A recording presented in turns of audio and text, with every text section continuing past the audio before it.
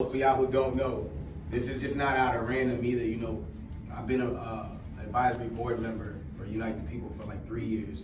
So we've been doing this prison reform thing and helping people in these type of situations for a long, long, long time.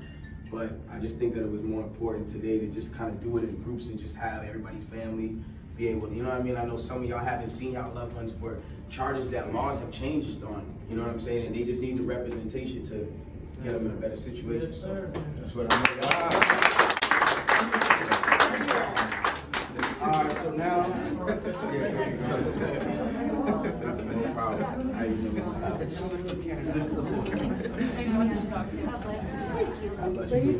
Okay, we're the lawyers here. They gotta.